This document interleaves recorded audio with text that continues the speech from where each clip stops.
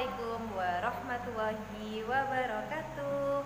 Halo teman-teman, hari ini teman-teman semua belajar lagi bersama Ustazah Fani. Alhamdulillah.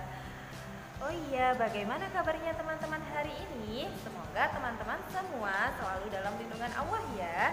Jangan lupa untuk selalu jaga kesehatan. Ketika keluar rumah jangan lupa untuk selalu memakai masker hari ini Ustazah akan menjelaskan materi yang pertama yaitu tentang mengenal bilangan caca Jadi nanti kita akan belajar bilangan caca ganjil dan bilangan caca Untuk materi yang kedua yaitu karya imajinatif tiga dimensi Sebelum Ustazah Fani menjelaskan materi, Ustazah Fani akan mereview materi yang dijelaskan sama Ustazah Vita kemarin yaitu yang pertama tentang kata sapaan.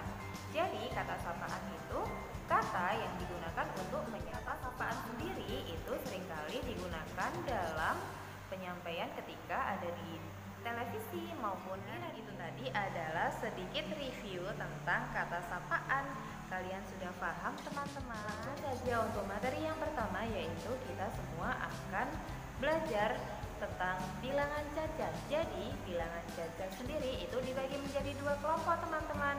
Yang pertama yaitu bilangan caca genap dan yang kedua bilangan caca saja untuk bilangan caca yang genap contohnya adalah 2 4 6 8 10 dan seterusnya untuk yang bilangan caca ganjil adalah 1 3 5 7 9 dan untuk materi yang kedua yaitu gerak dasar lokomotor. Jadi gerak dasar lokomotor itu sendiri adalah gerakan yang berpindah tempat.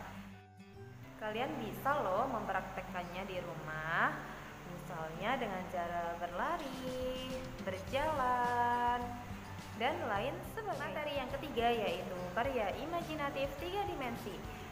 Karya tiga dimensi ini sering kita jumpai loh teman-teman. Bisa juga ada di rumah di sekolah. Contoh-contohnya yaitu gunting penghapus pensil dan lain sebagainya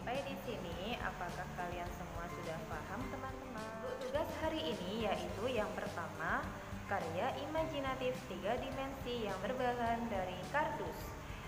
Jadi nanti teman-teman bisa membuat hasil karya dari kardus sesuai dengan kreasi kalian. Hasil karya kalian lebih menarik kalian juga bisa loh untuk menambahkan banyak warna di hasil karya tersebut. Selamat mengerjakan teman-teman. Tugas yang kedua yaitu teman-teman membuat video tentang gerak dasar lokomotor bisa juga dengan berjalan, dan lain sebagainya. Dan untuk tugas yang terakhir yaitu pengelompokan bilangan caca genap dan bilangan caca ganjil. Kalian bisa membuka handbook di halaman 75 pada poin kedua. Untuk pengumpulan tugasnya yaitu dikumpulkan di Google Form sesuai dengan link yang dikirim Ustazah.